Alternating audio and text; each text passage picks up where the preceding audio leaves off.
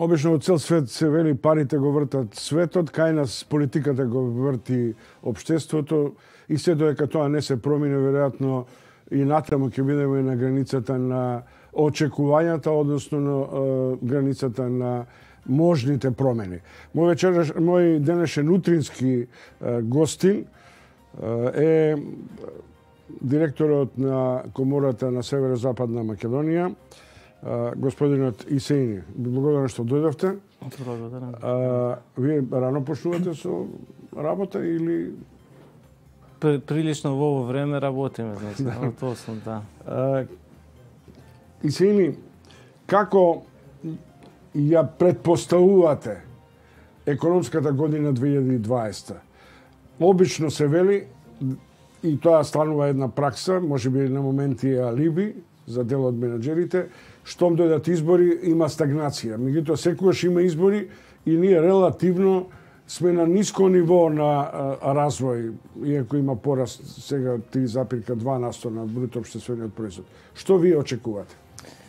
Е, значи бизнисот функционира врз база на очекувањата и од кога сум ангажирање за комората, многу често зборуваме за тоа како изборите негативно имаат влијание врз економијата, особено во делот на реализирање на економската активност.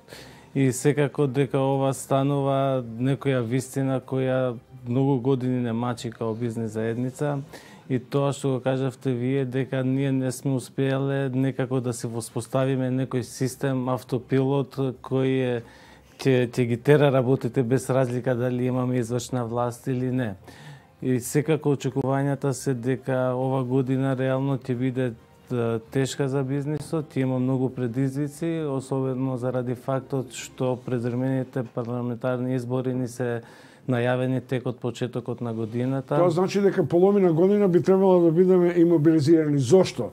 Заради тоа што сме интровертно врзани за администрација документи или заради тоа што политиката прави притисок врз бизнисот?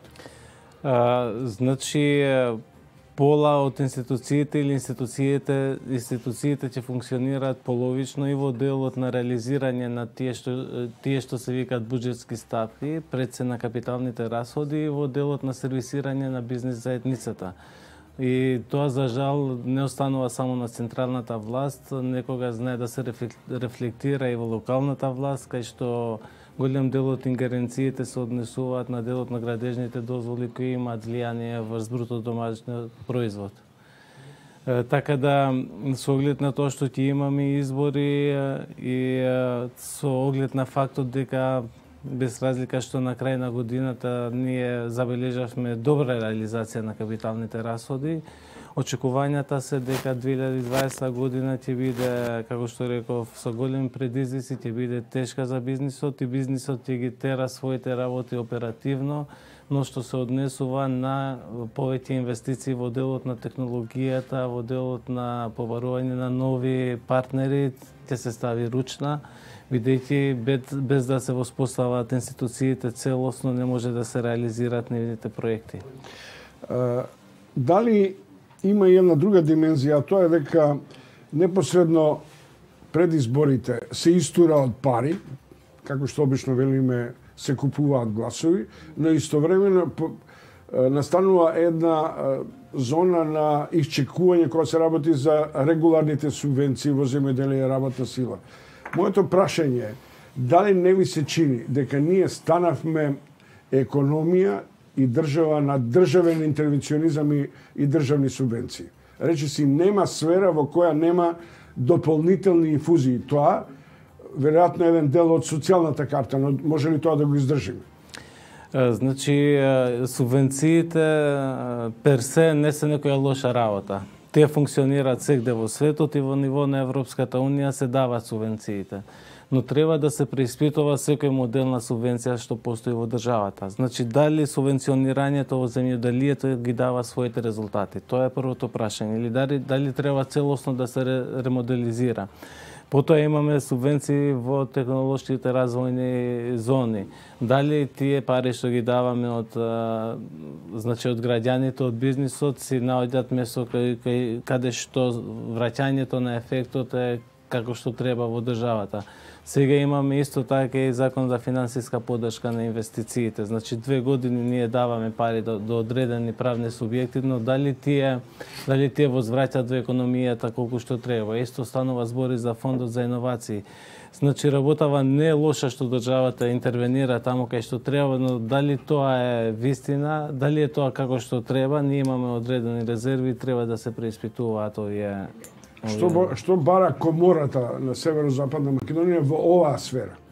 Значи, ние као прва стратешка определба е правна држава, значи и правична примена на законите као предуслов за правна држава, бидејќи некогаш знае човечкиот фактор да има негативен ефект при одлучување за одредени закони. И тука е најлошата страна. Значи, секога, не, не секогаш законите ни се лоши нам као држава, но нивната примена е различита. Правиме ние различни анализи по однос на примена на законодавството и се гледа дека истиот закон различно се применува во Скопје, различно се применува во Тетово, различно се применува во Прилеп, на пример. Значи, ова е голем проблем за бизнисот, зашто правната држава не функционира како што треба и тоа создава правна несигурност. Што не гледачи, следите време на пари. Дрилијан Исени, директор на Комората на Северо-Западна Македонија. Исени, ние разговараме за човечки ресурси, станува сега тоа една нова, модерна перцепција на каков начин треба да се регрутираат креативни кадри, како тоа да се негува. Меѓутоа, на ниво на обштество, најмалку разговараме за инвестиции во човечките ресурси кои предпоставуваат добро образование и а, постојана постојано, постојано, следење на технолошките иновации. Значи, работната сила и квалитетниот работен кадар останува најголем предизвик на економијата на нашата држава. Значи, тоа се приметува и во другите земји во регионот, не е само наш проблем. Сегде се рефлектира, на работата е што другите држави веќе имаат преземено некои, некои активности со цел да ги задржат. Факт е дека образованието кај нас не ги стимулира младите на, на духот на конкурентност, на компетитивност. Значи, кај нас нема некои е, награди, некои, е, како да кажеме, некои надпреварувања што ќе ги стимулираат младите да бидат покомпетитивни. Тоа е првиот проблем. Ако анализираме светски извештаи по однос на начинот или на државите кои ги најдобро ги задржуваат квалитетните кадри, тоа се гледа дека тие држави се освен Швајцарија, нордиските земји. Значи на прво место е Швајцарија, потоа Данска, Норвешка, Австрија, Холандија, Канада и слично. Значи првиот проблем е ние не можеме да најдеме начин како да ги да ги мотивираме младите да остануваат тука бизнисот е спреман да дава поголеми плати, особено фирмите кои ние ги представуваме као комора, но тоа не е се. Значи, ако се прават анализите, се гледа дека во овие држави постои така наречена филозофија на взаемна доверба и почит кон институциите и кон луѓето. Значи, тоа е случајот на Швајцарија и на нордиските земји. Кај нас не се верува во правосудниот систем и никој млад не се чувствува безбеден тука да инвестира во својата иднина. Чекате да, само еден момент. човечките ресурси значи негување на предпоставен потенцијал и сочување на тековниот труд и потенцијал на, на кадрите. Дали во ќе употребам помалку етнички критериум, дали кај албанските субјекти се чувствува недостиг на работна сила. Дали младите заминуваат од подрачјата кој, од каде се регрутираат кадрите за тие ваши над 1600-700 членки?